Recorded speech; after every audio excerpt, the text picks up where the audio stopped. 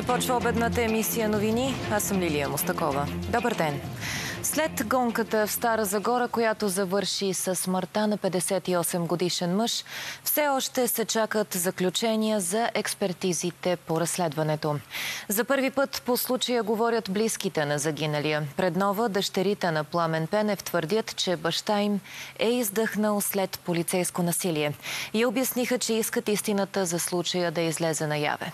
До момента няма официална информация от прокуратурата по случая. Темата обобщава Алис Любомирова. Въпреки мъката и трагедията, която ги сполетя, близките на Пламен Пенев се съгласиха да разкажат пред нова тяхната версия за случая в Стара Загора, при който след полицейска гонка по улиците на града и опит за задържане почина 58 годишният бивши републикански шампион по борба.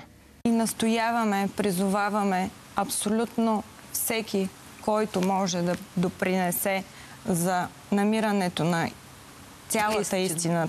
За мен това е место престъпление. Не мога да го нарека происшествие.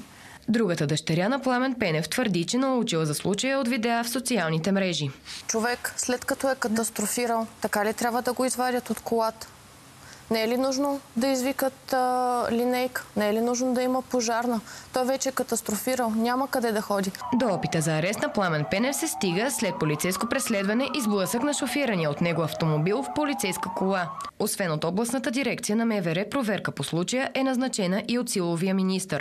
Инспекторатът към ведомството ще проверява всички факти и обстоятелства, включително и съмнения за неправомерни полицейски действия или превишаване на правомощия, се казва в позиция на МВР.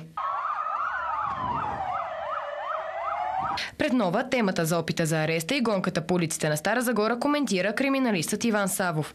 Той не изключи някой от полицаите да е превишил употребата на сила, но помоли за мълчание, докато тече разследването. Човек, който няма какво да скрие, ще бяга от 9 автомобила. Полицията се е отзовала на сигнал за нападение с, ако не се лъже, хладно оръжие, което може спокойно да бъде третирано като закана за убийство. Савов постави и друг въпрос към близките на загиналия.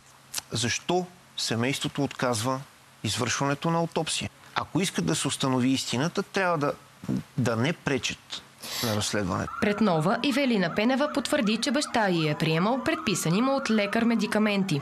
Проблеми не е имал. Той е имал заболяване, към което има назначени а, лекарства и той си ги взима. Сутринта на импровизиран протест в подкрепа на семейството на загиналия се събраха негови познати от Стара Загора.